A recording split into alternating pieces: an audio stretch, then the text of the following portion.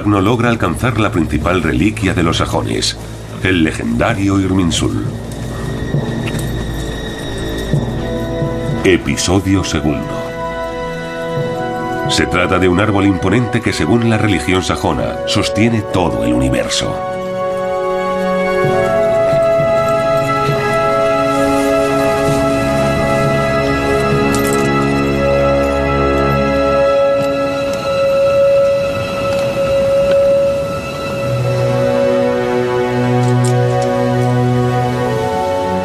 Traed las antorchas.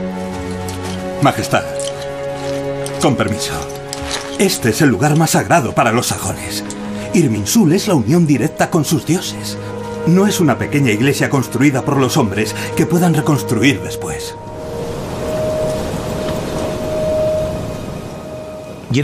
Toda guerra necesita una legitimación. En este caso, la destrucción de un santuario pagano funciona a la perfección como estrategia de legitimación. El objetivo de Carlomagno es el mismo desde el principio.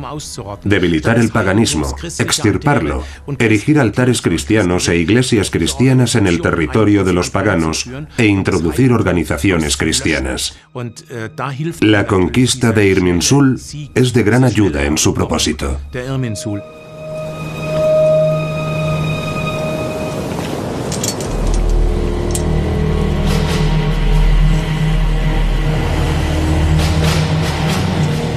Prendedlo.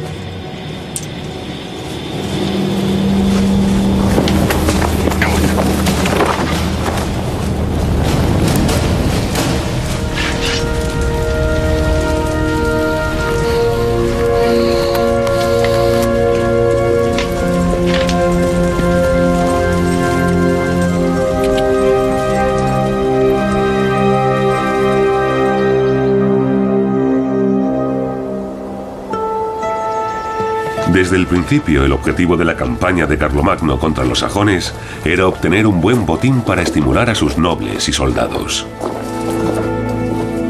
En los bosques sajones se encuentra con una cueva sacrificial oculta.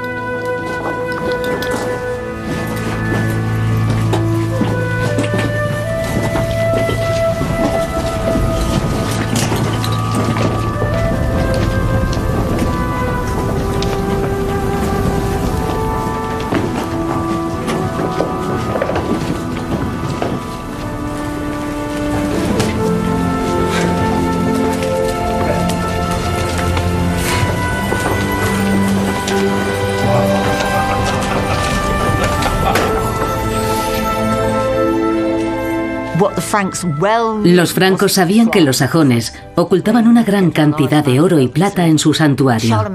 Carlomagno necesitaba un buen botín en el 772 para reforzar su poder y conseguir sacar a sus sobrinos de Lombardía. Todo estaba relacionado. Las diferentes campañas estaban conectadas entre sí. Al mismo tiempo, muy lejos de Sajonia, el Papa Adriano toma una decisión. Desiderio, vinisteis a mí para pedirme que confirmara a los hijos del difunto Carlomán como sus herederos al trono franco. Hemos llegado a una conclusión y confiamos en que sea la correcta, con la ayuda de Dios. La corona del reino de Carlomán solo tiene un heredero legítimo, el rey Carlos.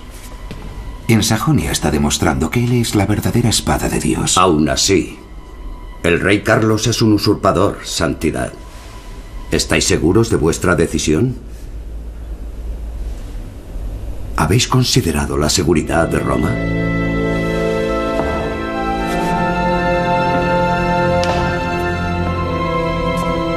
¿Me estáis amenazando, querido Desiderio? Mi decisión es irrevocable.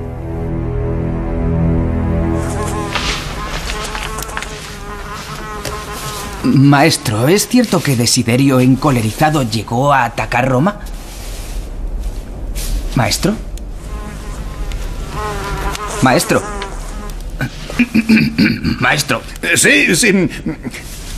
El Papa Adriano estaba entre la espada y la pared. Amenazó a Desiderio con la excomunión, pero no sirvió de nada. Al verse en peligro, pidió ayuda al rey Carlos. Escribe, Johannes. Pipino, el padre de Carlos, ya había ido a la guerra contra los lombardos para ayudar al Papa. Ahora Carlos tenía el mismo motivo para declarar la guerra. Sin embargo, en esta campaña se encontraría con mayores dificultades y el resultado también fue diferente. Es probable que en el año 773 o 774 la idea de una guerra contra los lombardos tampoco fuese apoyada por todos, sobre todo porque la reina viuda Gerberga, la cuñada de Carlomagno, se había refugiado allí con sus hijos y seguramente contaba con apoyos entre los notables francos. Yo diría que la guerra contra los lombardos requería algo más de preparación y poder de convicción que una campaña de verano contra los sajones, que podía emprenderse casi sin riesgo.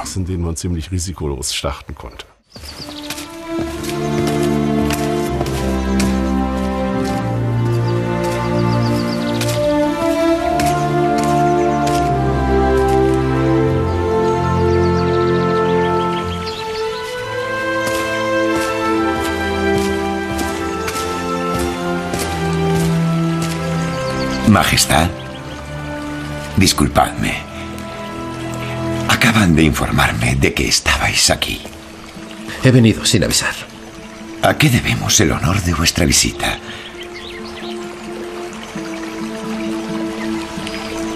¿Tenéis dudas? Sois un buen intérprete del alma humana. Bueno, desde el sepelio de vuestro padre no habíais vuelto por aquí. Y venís ahora que hay una guerra en ciernes. No hay que ser un sabio para interpretar el alma de un hijo. Vuestra situación es muy complicada. Vuestro padre ya perdió el favor de muchos príncipes cuando se enfrentó a los lombardos. Pero ganó la guerra. No había pretendientes al trono de vuestro padre sentado a la mesa de los lombardos. Los hijos de vuestro hermano tienen muchos amigos en nuestro reino. Debería haber... No debería haberlos dejado marchar. Dios recompensará vuestra benevolencia. Pero no puedo dejar que Desiderio haga lo que quiera. Sería un terrible signo de debilidad. Claro que tiene que haber consecuencias. Pero medid bien vuestras acciones. Utilizad las debilidades de vuestro enemigo. Desiderio no parece estúpido, pero se dice que es excepcionalmente arrogante. Jugad con su presunción, cruzad los Alpes con vuestro ejército y negociad con él. ¿Negociar? Que crea que tenéis miedo de él. Comportaos como si quisierais evitar la batalla por todos los medios. Así cometerá errores, creedme. Nada es tan útil como fingirse débil ante un enemigo. ¿Y qué hago con los nobles indecisos? Bueno, para una campaña en la que no se derramará sangre lombarda, seguro que encontráis suficientes nobles dispuestos. Y cuando ya estéis en ruta, y Desiderio desprecie vuestro ofrecimiento de paz, todo será posible. Deberíais haber sido estratega militar. De cualquier manera, guío a los hombres a la batalla, aunque las batallas sean un poco diferentes.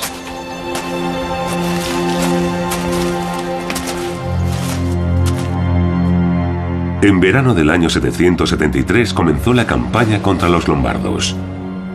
El ejército de Carlomagno cruzó los Alpes en dos columnas, una por el valle de Aosta y otra dirigida por el rey por el Mont Cenis. Los dos grupos se encontrarían al oeste de Turín, en el valle de Susa. Ese era el plan. Más de 3.000 personas componen este ejército. Además de los soldados regulares, hay unos mil miembros de la corte real. En la alta Edad Media no había carruajes con suspensión, Solo sencillas carretas para las mujeres y los niños. Para la reina Hildegarda, esto supone un esfuerzo adicional. Carlomagno quiere que lo acompañe, y ella lo hace. En la campaña de Italia se enfrenta al frío de los Alpes con un embarazo ya avanzado. La vida de Hildegarda con Carlomagno no era fácil. Él quería que estuviese siempre a su lado, así que ella, aunque estaba con frecuencia embarazada, lo acompañaba en casi todos sus viajes. También estuvo en la campaña contra los lombardos de Pavía. Es decir, cruzó los Alpes en invierno junto a Carlomagno con su hijo mayor y su hijastro Pipino.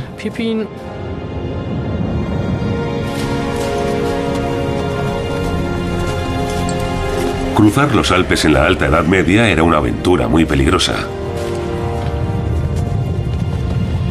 Sobre todo en invierno, cuando la nieve y el hielo bloqueaban los caminos.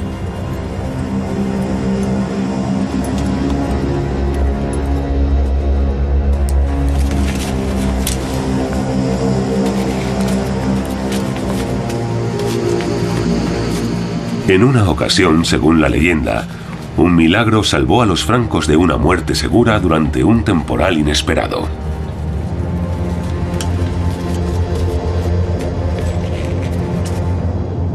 La leyenda también cuenta que Carlomagno mandó construir un templo en agradecimiento por la milagrosa salvación.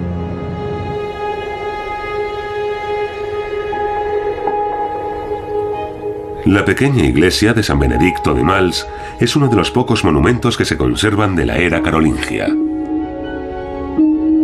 Su fundador quiso inmortalizarse en un fresco, lo que nos permite saber cómo vestían los nobles francos. Este lleva una espada ricamente decorada. Se ha especulado mucho sobre su identidad, y las teorías van desde un noble cercano al rey hasta el hijo de Carlomagno, Pipino.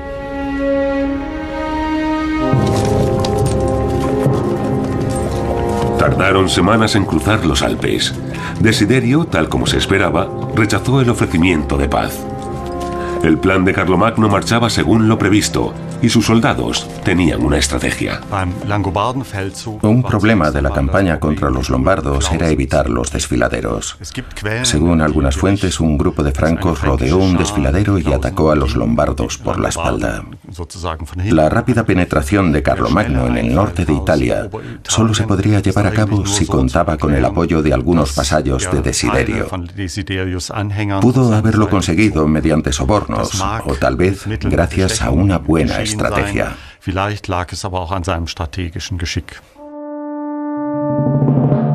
Los lombardos esperan atacar a los francos desde arriba en el desfiladero, pero no se dan cuenta de que hay otro destacamento de francos aproximándose por detrás. Sorprendido, Desiderio se refugió con su ejército tras las poderosas murallas de su capital, Pavía. Años después, un cronista describe así la impresionante llegada del ejército franco a las puertas de Pavía. Por último llegó un hombre de hierro. Era Carlos. El hierro lo cubría todo y reflejaba el brillo del sol.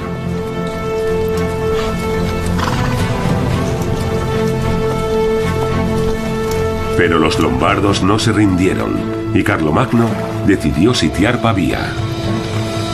Una misión peligrosa justo antes del invierno.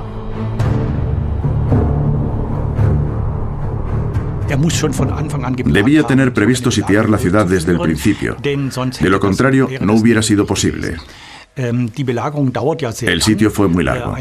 Duró nueve meses, incluyendo los del invierno, pues empezó en septiembre y terminó en junio. Tenían que tener una cierta preparación logística y técnica. Para mantener el entusiasmo de los nobles, Carlomagno no dejaba de organizar banquetes en el campamento de invierno.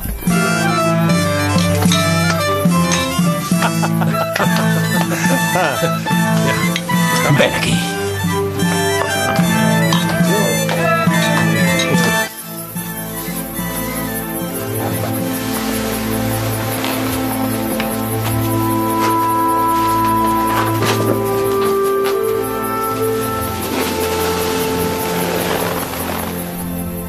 Vuestra hermana tiene fiebre. ¿Cuándo nacerá el niño? Solo Dios sabe cuándo vendrá al mundo el niño.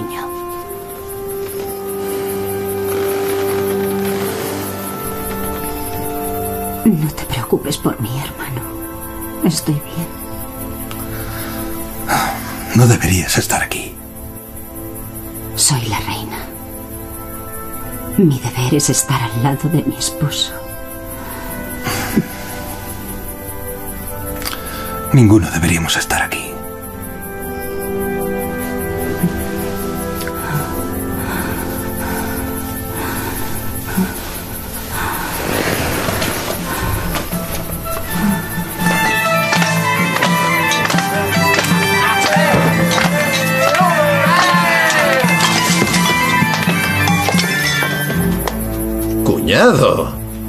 ¿qué es lo que te impide disfrutar de la fiesta? Majestad, una batalla por la Iglesia y por el Papa no os da derecho a entregaros al pecado de esa manera. Bebe. Solo un buen cristiano ganará esta guerra. Y aquí no veo a ninguno. Mientras vos os divertís, mi hermana está sufriendo para daros un hijo en la tienda contigua. Cuidado con lo que dices. No seas aguafiestas. Y bebe con nosotros, Querol.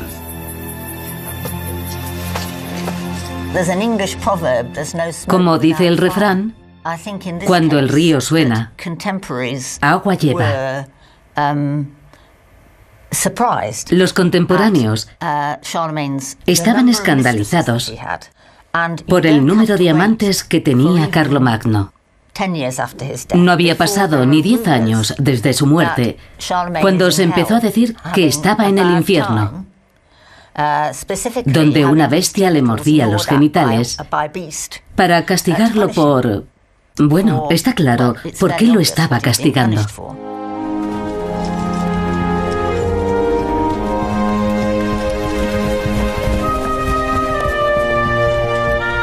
Pasa el tiempo y el sitio de Pavía no da fruto. Carlomagno viaja por sorpresa a Roma para pedir una audiencia al Papa. Y ve por primera vez la ciudad santa.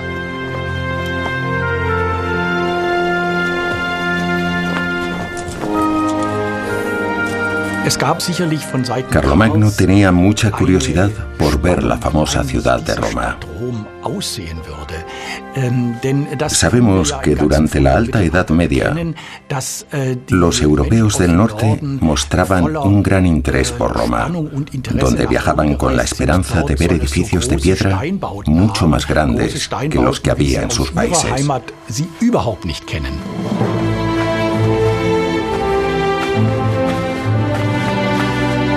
La visita cogió por sorpresa al Papa Adriano I, así como la humildad y la emoción con que se comportó el rey de los francos.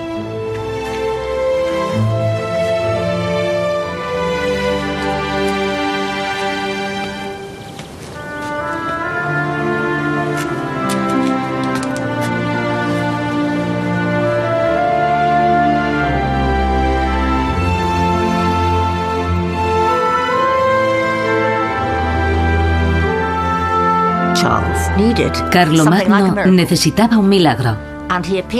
Se presentó en Roma y empezó a subir la escalinata besando cada escalón. Entonces abrazó al Papa y le ofreció el brazo izquierdo. El Papa lo tomó con el brazo derecho y lo acompañó al interior de San Pedro. Tuvo que ser una experiencia muy intensa. Entrar en la Basílica de San Pedro y sentir toda la espiritualidad del lugar es algo que Carlomagno no olvidó en su vida. Carlomagno quiere la bendición papal para su campaña contra los lombardos. Para eso le regala una pequeña parte de su tesoro. Siguiendo la tradición instaurada por su padre, se presenta como protector de la iglesia y renueva una gran promesa de donación ante Adriano I.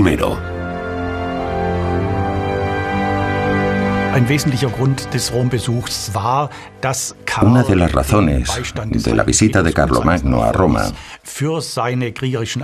era pedir el apoyo de San Pedro y su sucesor para su campaña contra los lombardos. De lo contrario, nos explica su disposición a hacer una promesa de donación tan importante. Las regiones conquistadas a los lombardos pasarían a ser patrimonio de San Pedro.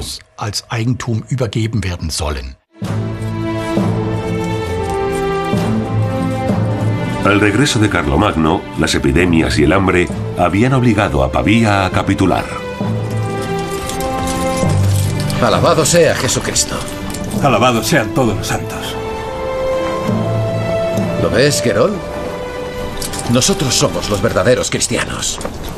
En efecto, Majestad. En efecto.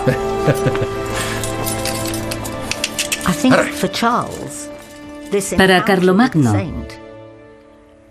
el encuentro con San Pedro fue un milagro que le permitió volver y ganar la guerra. En realidad, lo que derrotó a los lombardos fue la terrible epidemia que se declaró en Pavía y que diezmó su población. Sin embargo, para el rey se había establecido una relación de protección. Él protegía a San Pedro y sus tierras y San Pedro lo protegía a él. Cada uno de sus triunfos era una constatación de esa convicción.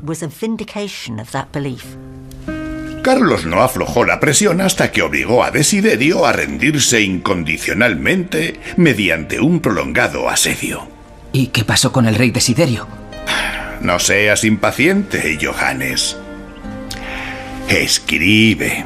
La campaña contra los lombardos terminó con la conquista de Italia, la excomunión del rey Desiderio, la expulsión de Italia de su hijo Adalgiso y la devolución de los bienes robados por los lombardos a Adriano, el papa de la Iglesia de Roma.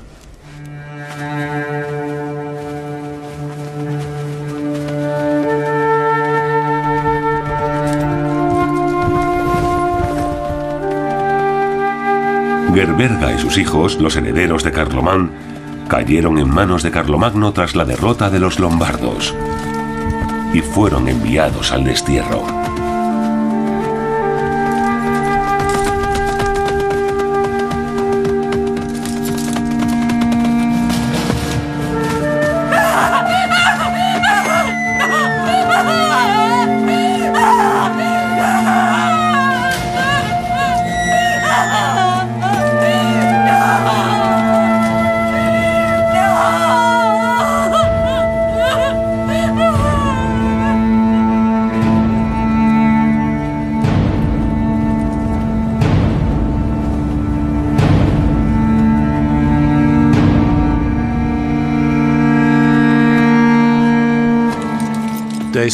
Naturalmente, el historiador puede preguntarse por el destino de los sobrinos de Carlomagno.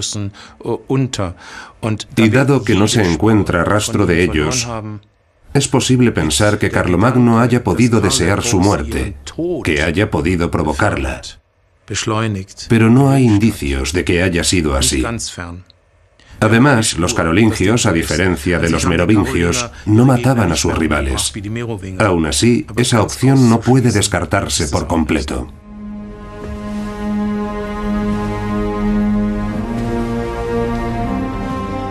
Carlomagno lo ha conseguido.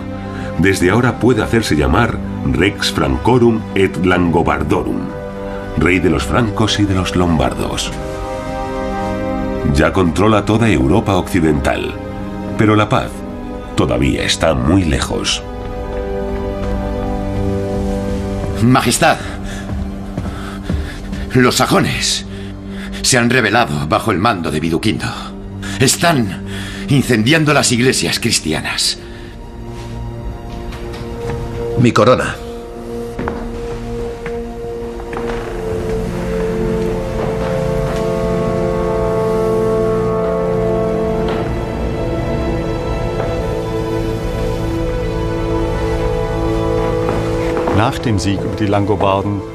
Tras la victoria sobre los lombardos, Carlomagno volvió a enfrentarse a los sajones. Y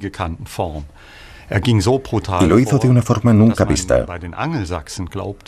Fue tan brutal que parecía que había perdido la cabeza.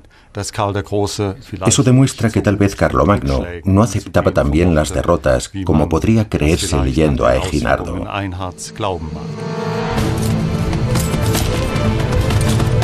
El contraataque de Carlomagno es cruel y despiadado.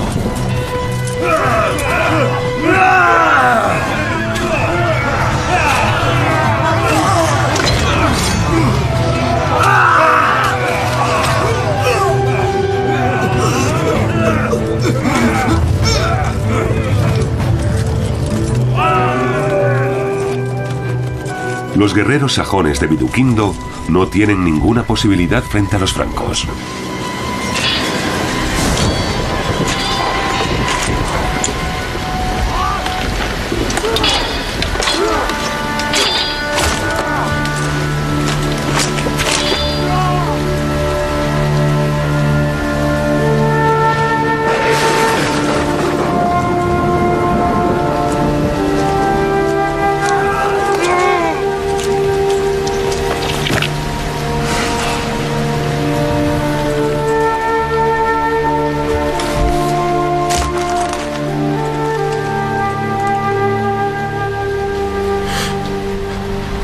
Señor, limpia mis pecados.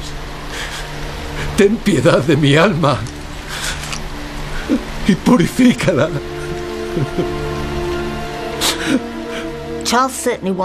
Carlomagno quería convertir a los sajones al cristianismo verdadero. Y los juramentos de fidelidad hacia él iban incluidos en el paquete. Después de jurarle fidelidad, la rebelión era un acto de perjurio y traición.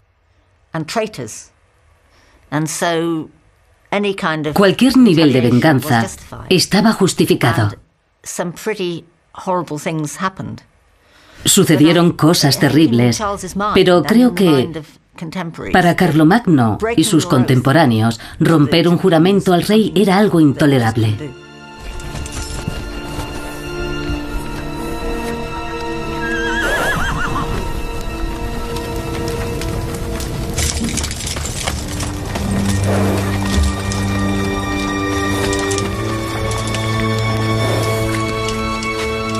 El rival más fiero de Carlomagno fue el caudillo sajón, Viduquindo.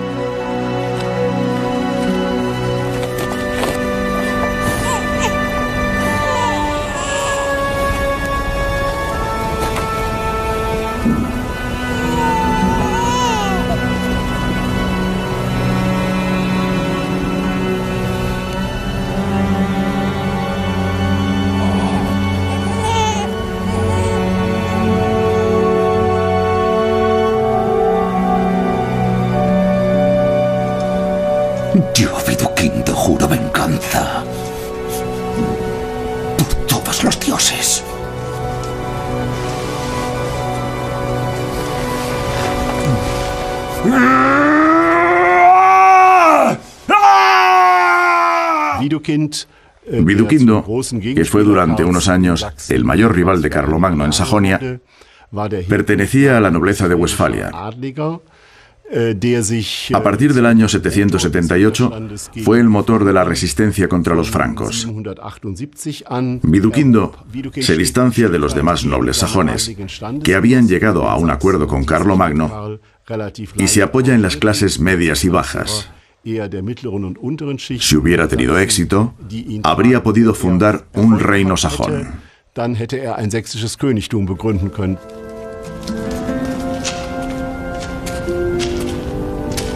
¿Conoces el refrán griego que dice,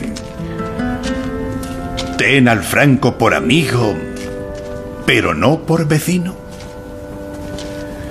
Todos temblaban ante la fuerza y la determinación del gran Carlos.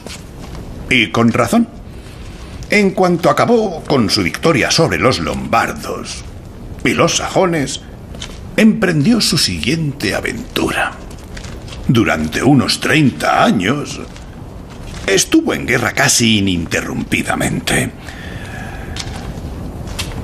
Pero dejemos esto ahora. Vamos a comer con nuestro amigo el abad Santor, ¿de acuerdo? Tengo hambre. Sí, y yo. Previendo una victoria segura, Carlomagno se retira a su cuartel de invierno. Vamos, Roldán. Muestra de que eres capaz. ¿Eres un buen guerrero? Vamos, demuéstralo, ¿eh? Majestad, todos saben que sois invencible. Dejad que reine la clemencia.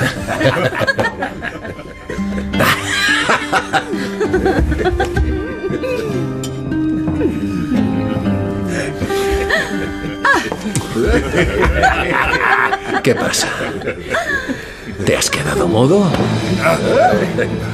¿Te estás haciendo viejo? ¿Tan débil eres?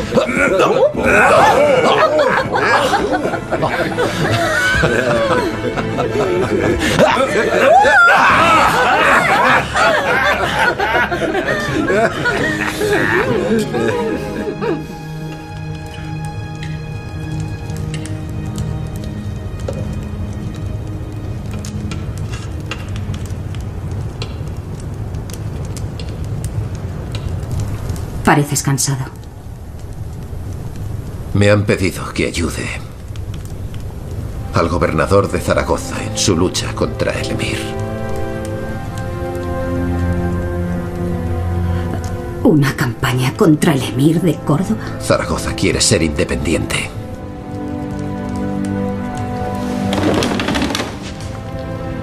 El gobernador me abrirá las puertas de la ciudad y yo conseguiré la victoria. Carlos, tus súbditos, tus soldados y tus nobles están cansados de la guerra y con permiso. Yo también lo estoy.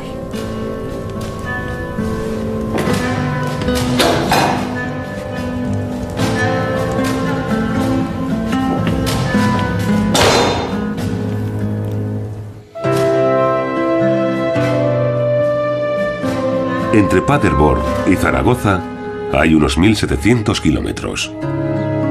Si sumamos todos sus desplazamientos durante sus campañas o entre sus palacios, Carlomagno recorrió más de la circunferencia terrestre. Los gobernantes militares estaban siempre en movimiento porque, debido a las condiciones de comunicación de la época, tenían que dejarse ver en las diferentes regiones de su territorio. Esto sucede también durante la primera mitad del reinado de Carlomagno. Hay que tener en cuenta también todos los desplazamientos por cuestiones militares. E incluso en tiempos de paz, siempre podía haber una expedición de castigo para hacer entrar en razón a alguien. wollte.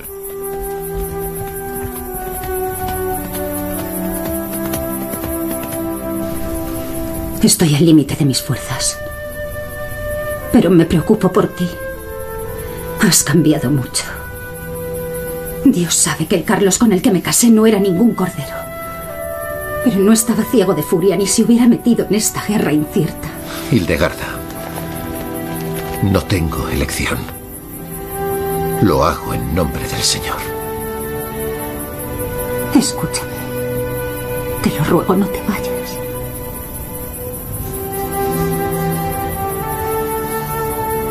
Dios me protegerá. No hace falta que vengas conmigo. Algunos de mis hombres te escoltarán en tu regreso.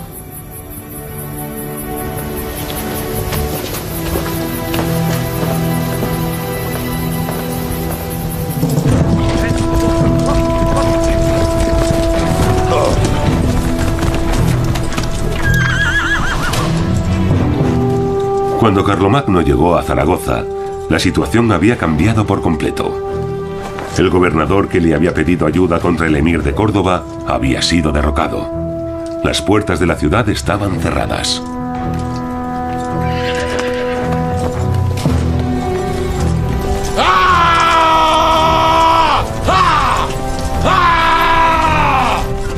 Carlomagno se niega a darse por vencido.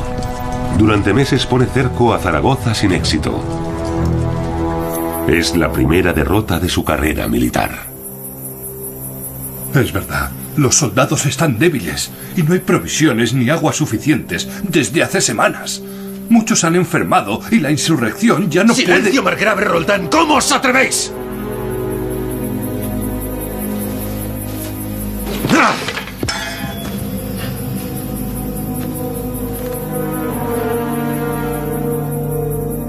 Tan desesperada es la situación. Las provisiones se han agotado y no queda nada en los alrededores. Los nobles, los nobles, tampoco ven posible seguir manteniendo el cerco. Gracias por vuestra sinceridad. Pero decidme, ¿dónde quedó mi suerte? Anunciad la retirada para mañana. Vos, Roldán, protegeréis la retaguardia durante la marcha. La retirada de Carlomagno de la península ibérica tuvo graves consecuencias. Destruyó las defensas de la ciudad cristiana de Pamplona y permitió su saqueo.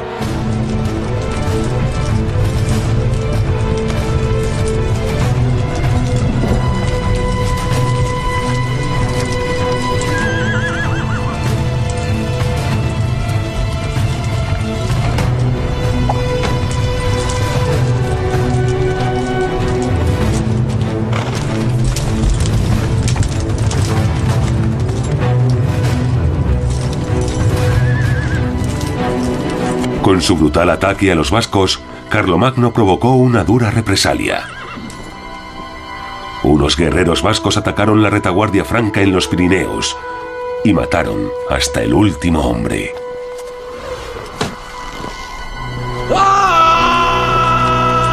La muerte del margrave Roldán marcó el amargo final de la aventura de Carlomagno en la península ibérica. El ataque de los vascos fue el ataque de un pueblo cristiano. Debían de estar furiosos porque Carlomagno, tras el fracaso de Zaragoza, decidió saquear Pamplona. Saquear la ciudad cristiana de Pamplona fue una canallada, hay que decirlo. Por eso los vascos estaban tan furiosos.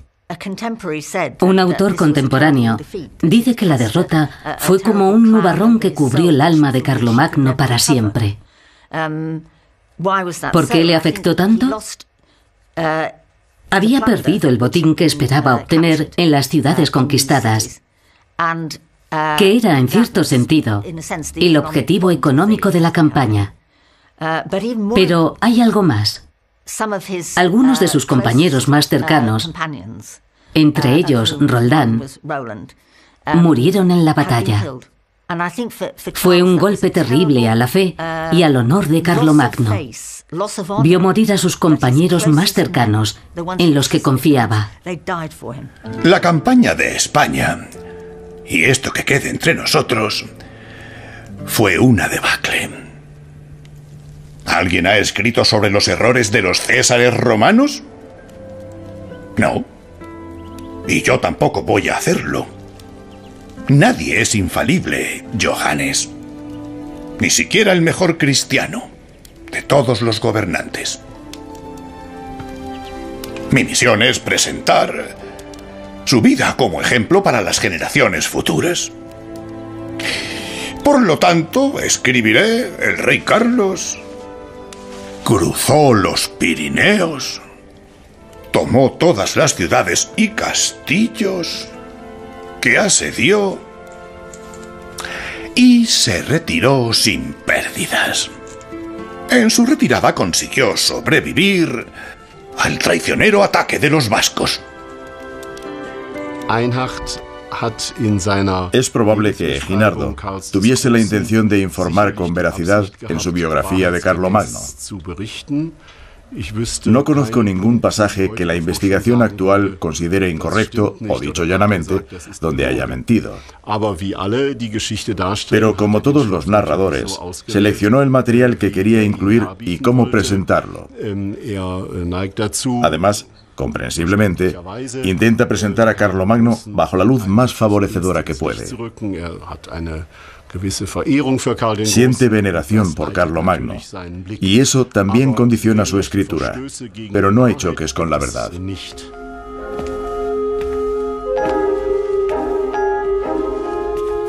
Pero Eginardo no fue el único que silenció o reinterpretó la derrota de Carlomagno en España. Otros convirtieron la humillación sufrida en los Pirineos en una verdadera epopeya heroica. Un ejemplo está en el Cantar de Roldán. El manuscrito Stricker del siglo XIII, conservado en San Galo, ilustra esta historia. Las valiosas miniaturas muestran lo sucedido como una película.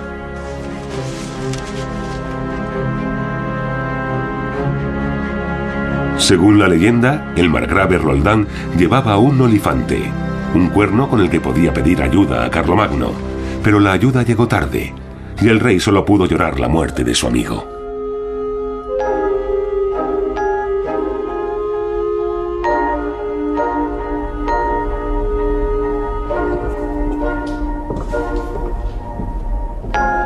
La redacción más antigua del Cantar de Roldán está en el manuscrito de Oxford del siglo XII. Es el texto originario de la historia épica. El filólogo Wolf Steinsick lo ha traducido del francés antiguo.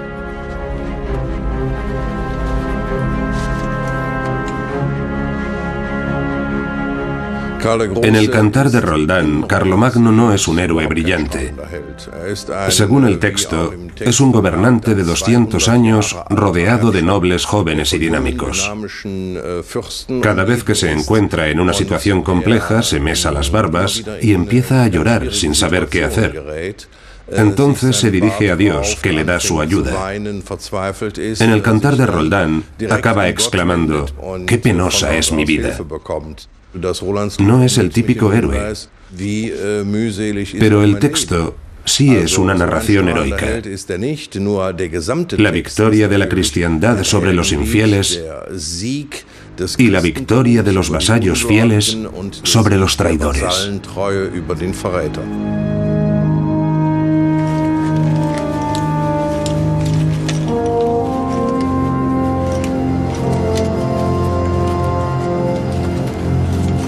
Mientras Carlomagno regresa de España, estalla una nueva rebelión de los sajones. Esta vez, los guerreros del noble Viduquindo aniquilan a los ocupadores francos.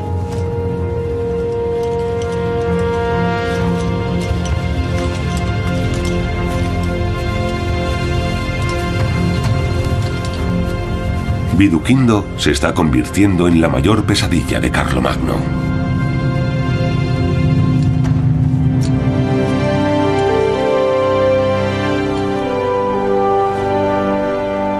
Ninguna otra guerra fue para los francos tan larga, tan exasperante y penosa. Hubiera sido posible ponerle fin mucho antes, de no ser por la traición de los sajones. Bien, maese Johannes. ¿Podéis continuar?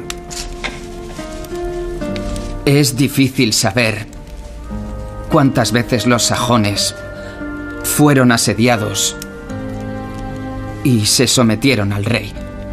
Cuántas veces juraron abandonar la idolatría y abrazar el cristianismo. Pero cada vez se dieron más prisa en faltar a lo prometido. Aquí nos quedamos. Eh, sigue escribiendo. En esta guerra cayeron numerosos nobles francos y sajones, entre ellos los más altos dignatarios.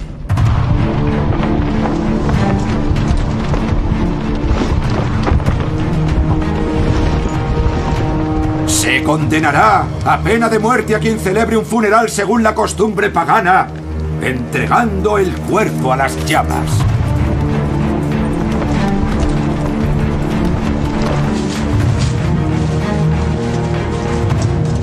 Y morirá quien ofrezca una víctima humana al demonio y según la costumbre pagana la presente ante los ídolos como ofrenda. Morirá quien tome por asalto y con violencia una iglesia o quien la entregue a las llamas. También quien asesine a un obispo, un sacerdote o a un diácono.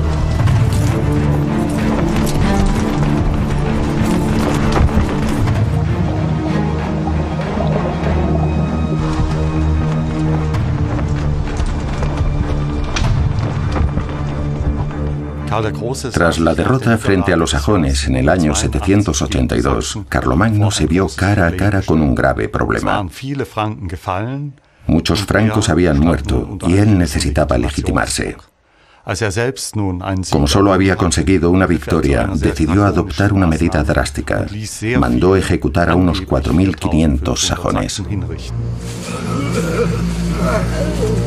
Carlomagno tomó una medida ejemplar de una crueldad inaudita. Hizo llevar a Verden a los líderes de la insurrección sajona y los mandó decapitar y tirarlos al río. Hay que poner en duda la cifra de 4.500 ejecutados que se menciona en un pasaje de difícil lectura de los anales del imperio. Es una cifra muy alta y por experiencia Sabemos que en las fuentes medievales se exageran las cifras de los sucesos militares.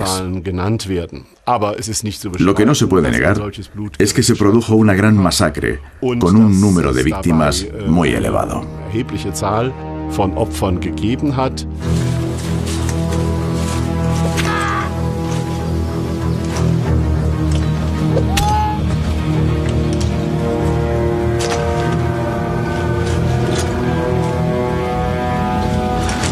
Quieres conservar la vida, dime dónde está vuestro jefe. ¿Dónde está Viduquindo?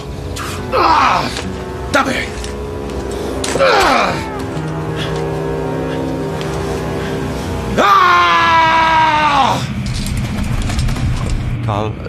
Para Carlomagno, Viduquindo era un grave problema.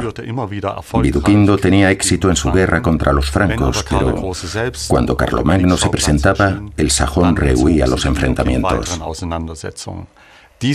Ese comportamiento resultaba muy ofensivo para Carlomagno, ya que consideraba esa forma de guerra como un desafío personal, por no decir un insulto. Carlomagno seguía sin encontrar la forma de acabar con la correosa resistencia de los sajones.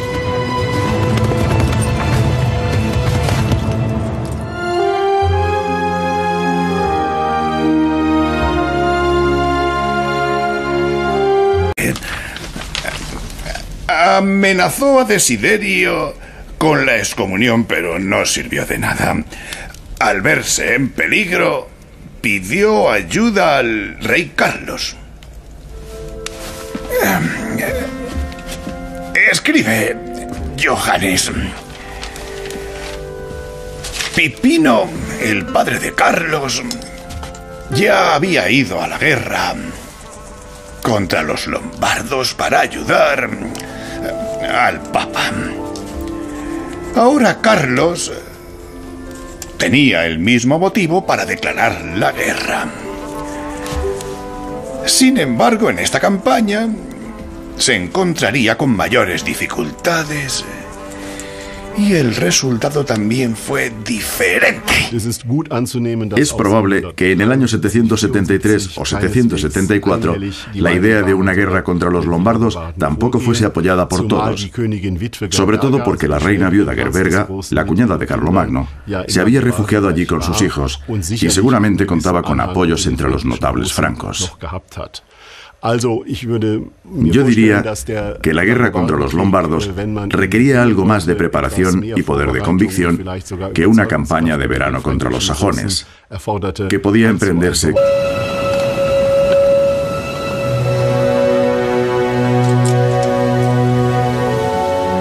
Traed las antorchas. Majestad, con permiso. Este es el lugar más sagrado para los sajones. Irminsul es la unión directa con sus dioses. No es una pequeña iglesia construida por los hombres que puedan reconstruir después.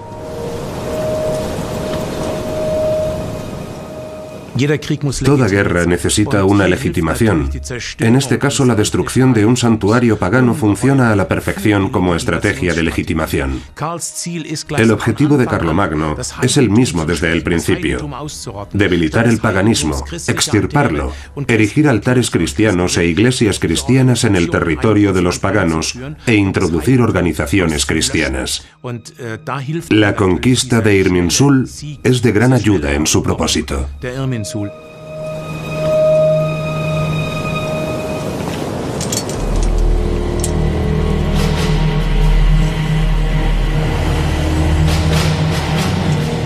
Prendedlo.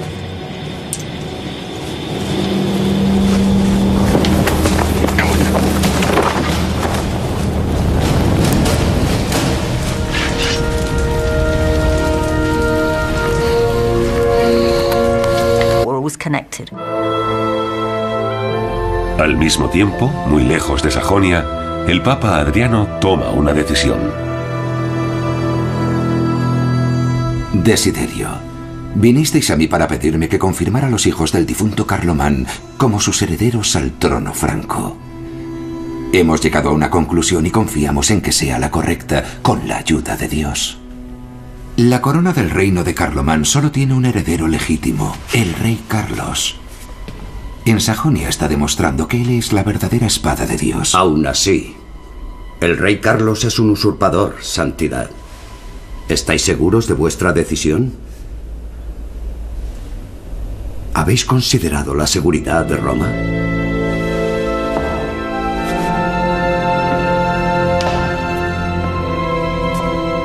¿Me estáis amenazando, querido Desiderio? Mi decisión es irrevocable.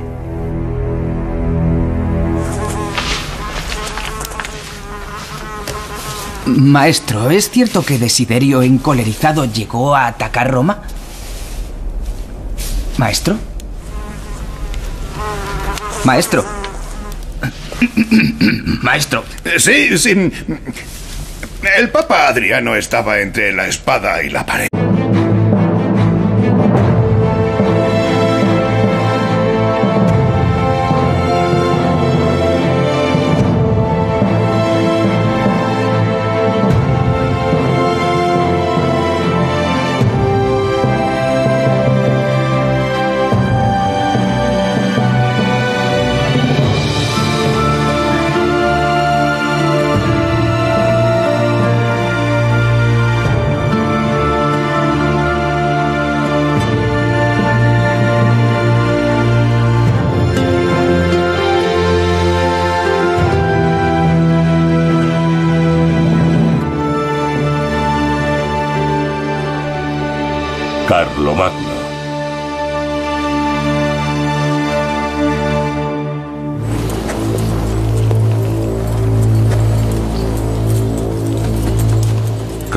Logra alcanzar la principal reliquia de los sajones, el legendario Irminsul.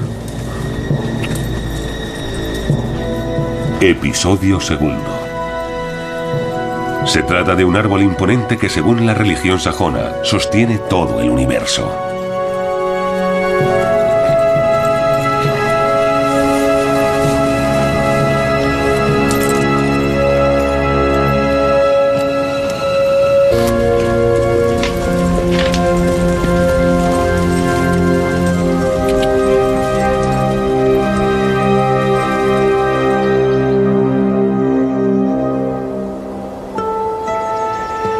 Desde el principio, el objetivo de la campaña de Carlomagno contra los sajones era obtener un buen botín para estimular a sus nobles y soldados. En los bosques sajones se encuentra con una cueva sacrificial oculta.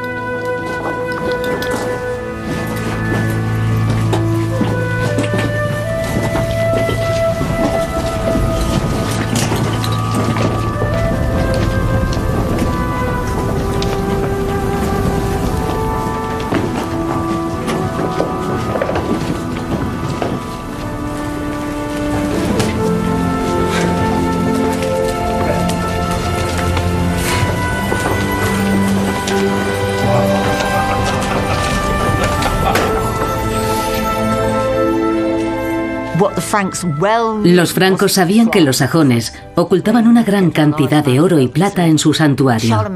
Carlomagno necesitaba un buen botín en el 772 para reforzar su poder y conseguir sacar a sus sobrinos de Lombardía. Todo estaba relacionado. Las diferentes campañas estaban conectadas entre sí.